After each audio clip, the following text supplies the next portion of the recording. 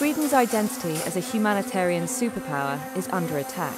No faith at all can be put in the government to solve this situation. It has proudly taken in more refugees per capita than any other European country. But with 190,000 arriving in 2015 alone, the Swedish government has taken the exceptional step of introducing border checks. Rising migration to Sweden has been shadowed by a surge in anti immigrant violence. We don't know whether they hate color or whether they hate religion, they just hate.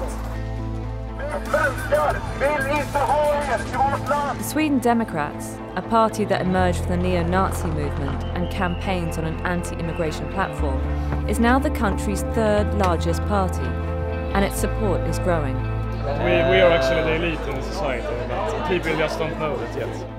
We joined the Sweden Democrats' radical youth wing, the SDU, at their annual conference to find out what they stand for and meet their growing ranks. Yes, do. We arrived just as they were electing a new chairperson. What's happening now? The election of the chairman, and now they're Announcing it.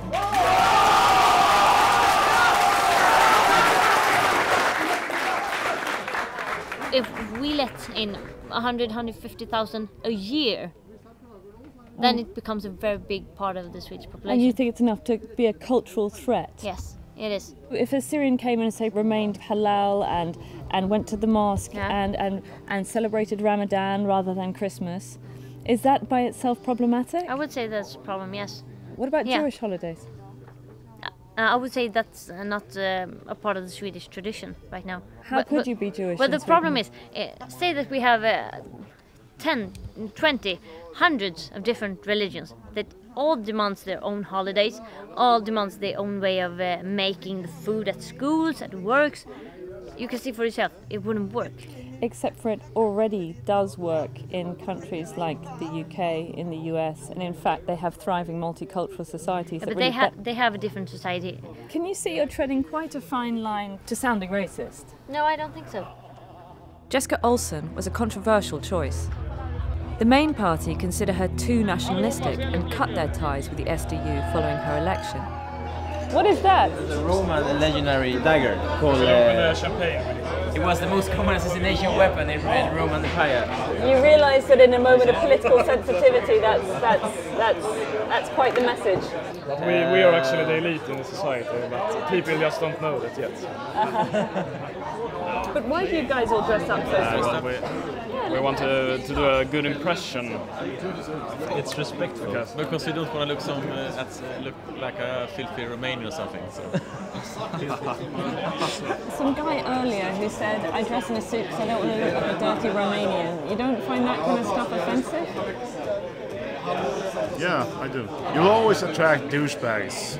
All parties does that. Talking about immigration doesn't have, doesn't have to be mean racism. It could be actually economics, because how many people can you help if you run out of money?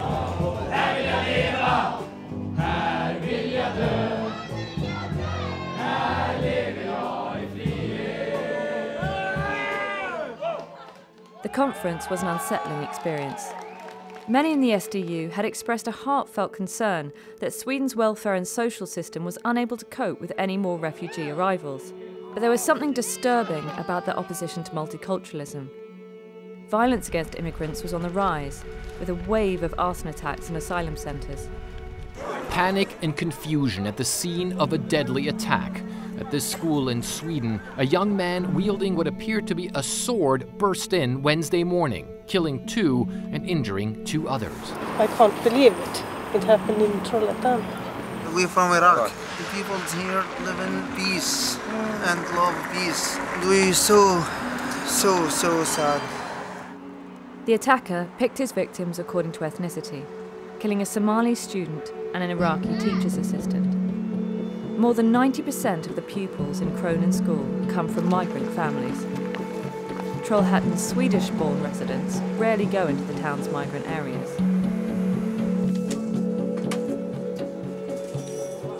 You're Swedish, or where are you born? From Kosovo.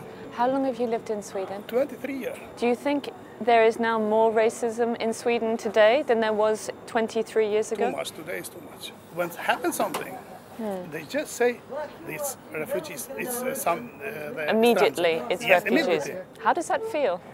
it hurts. Yeah. If I am Swedish, you are from another country. No, I don't want to be in friend with you. Don't play with his children. Why?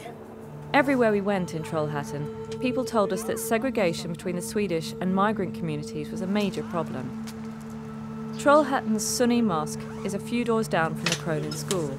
There have been arson attacks on asylum centres all over Sweden. Yes. Why do you think this is? It was, it's it's very easy to, to know it.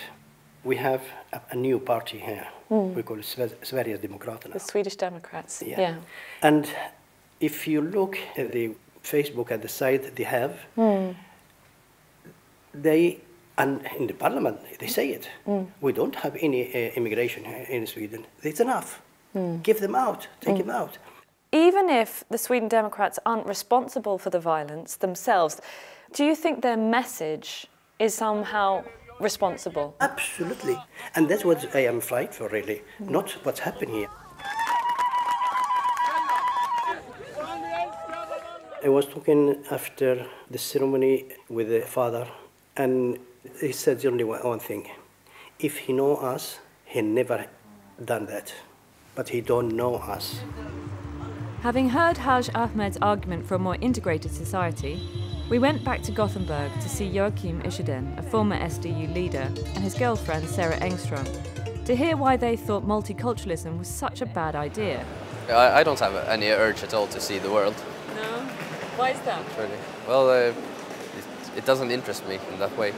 You've always lived in Gothenburg? Yes. You're born here? Yes. And you feel like it's changed since you were a kid? It has. I don't want to go out alone when it's dark. Uh, I don't want to go home when there's no one with me. What do you think, though, about people who are taking more extreme action? Can you understand the, the violence? They're now like something, an I arson can't, attack I can't every understand two to why they set fire to asylum Yeah. um, centers, but um, I understand the frustration. And also from a political perspective, it just strengthens my belief that no faith at all can be put in the government to solve this situation. So what can be done? Well, we just need a new political leadership in the country. It's that easy. Something drastically has, has to be done. Joachim and Sarah agreed to show us some of the Gothenburg neighbourhoods they believe have suffered most from Sweden's growing migrant and refugee arrivals. But they were reluctant to engage with the locals. It's not very often that you hear Swedish here. What are the languages that you would hear spoken here most? I have no idea. Arabic, maybe? Any first impressions? If you would come here as a tourist, I think it would be hard to judge what country you're in. This isn't Sweden for me. Uh, not at all. I would think you'd want to understand a bit more this culture that is among you. I, I don't know what is, there is more to understand. I don't think that uh, talking to uh, uh, one individual uh, would broaden the perspective very much from a political point of view. But if you actually talk to people, surely, like, you know, how you were saying, like, when you knock on doors, and this is what makes the Sweden Democrats different from other political parties, Mm-hmm. surely it then makes sense to also talk to all of the community, which, whether you like it or not, includes people from other cultures. No, of course. I mean, I don't have anything against it, but I don't think that from a political point of view, Yeah. that talking to uh, to uh, uh, a decent guy or an undecent guy out here uh, would change anything. What are your initial thoughts? Because I don't have anything else to compare it to I'm in a bit Sweden. scared. You're a bit scared? You wouldn't feel safe to go much further on? I'm sorry. Not further. Doesn't want to go any further? Feel threatened by the SDU? They don't want more people coming to their country. That's Mm. why they are making some of propaganda, some of uh, avoiding this reason. You will not come to this country to afraid. You know that. That's why so they are making if there this. are arson attacks against asylum centres, you're not going to want to go to that country? Uh, some sort. Ah, that's the theory. And so you're afraid, Sarah, that if they found out that you were with the Sweden Democrats, that they could be violent with you? Yes. And I mean, we have In uh, got- several different ways. We have gotten beaten a few times through the years. So you, you're worried for some serious kind of assault? Yeah, sure.